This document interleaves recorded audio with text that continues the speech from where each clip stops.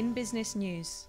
Τη νέα γενιά υπηρεσιών Machine to Machine παρουσίασε η PrimeTel κατά τη διάρκεια συνέντευξης τύπου. Οι νέες υπηρεσίες PrimeTel Fleet και PrimeTel Freeze Alert υπόσχονται τη μείωση του λειτουργικού κόστους και τη βελτίωση της παραγωγικότητας των επιχειρήσεων, ανέφερε ο Διευθυντής Εταιρικών Πωλήσεων PrimeTel, Μιχάλης Τσιστράκης. Η υπηρεσία PrimeTel Fleet αποτελεί μια ολοκληρωμένη λύση διαχείρισης και παρακολούθησης στόλου οχημάτων σε πραγματικό χρόνο. Σήμερα θα παρουσιάσουμε στους εταιρικούς μας πελάτες και όχι μόνο ε, μια, το πρώτο από μια σειρά προϊόντα τα οποία έχουν σαν σκοπό την εξυπηρέτηση των πελατών ε, στις ανάγκες τους στο να εξυπηρετήσουν τους δικούς τους πελάτες.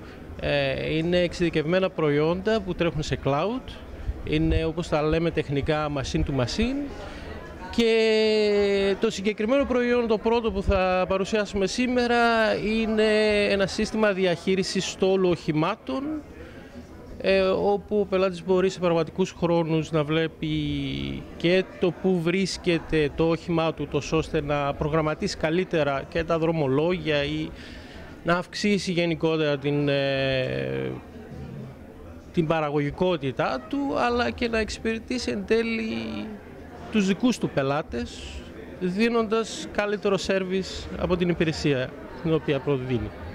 Η υπηρεσία PrimeTel Freeze Alert είναι μια επαναστατική λύση διαχείρισης και παρακολούθησης ψυγείων που απευθύνεται πρωτίστως σε επαγγελματίες και καταστήματα υγειονομικού ενδιαφέροντος όπου η κατάσταση του εμπορεύματος είναι ζωτικής σημασίας, συμπλήρωσε ο κύριος Τσιστράκης.